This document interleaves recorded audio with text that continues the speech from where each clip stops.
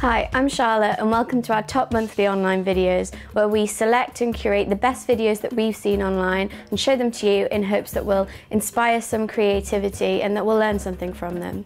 These are the categories that we're working with this week. Our top interview this month is Olivia Moultrie's Just Do It episode. My name is Olivia Moultrie. I am 12 years old and I play soccer. This video comes from a series by Nike about inspiring athletes. The interview is likely to be shot on an iPhone, but by layering the shots and images in dynamic ways, the interview remains engaging and aesthetically pleasing throughout. This is a really great example of what can be achieved through self-shooting and something that's easily achievable across most of our brands. Our best commercial this month is A Great Day in Hollywood by Netflix. This short ad celebrates strong black lead characters across Netflix shows. This is a really powerful piece and it uses really simple methods to achieve it. We hear a strong, powerful voiceover and a very slow tracking shot backwards to reveal all of the different characters. This is not a moment.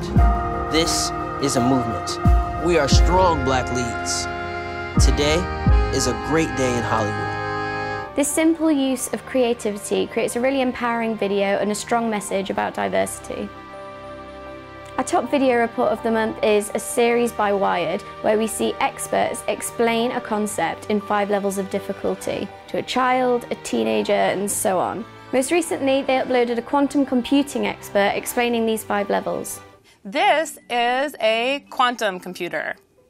It's a quantum this is a super interesting way of making use of contacts and experts that you might have in your brand and sharing their complex knowledge to a much wider audience. And a great example of making content that isn't just advertising something else, but that sits alone as a piece.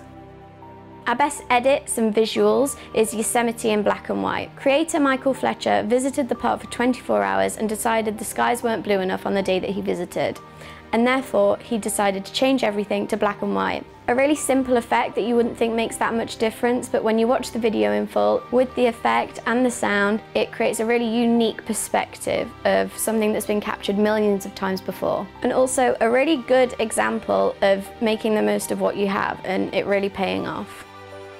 The best YouTube channel of the month is a little different than usual, going for a single creator, Shane Dawson. He's often seen as an average YouTuber, creating comedy-style sketches and reviews of products. But his channel has recently had an overhaul and he started to create long-form documentaries. The key to the success, I think, is that he's splitting them into different episodes, creating a lot of hype for his viewers, which coincidentally has seen the videos on the trending page with 10 million views for each. This has changed the way that his viewers consume their content and coincidentally changed the way that a lot of creators like himself are producing their own. Thanks for watching this episode. Don't forget to comment and subscribe down below. And if we've inspired you to create something, get in touch and let's see if we can make it happen.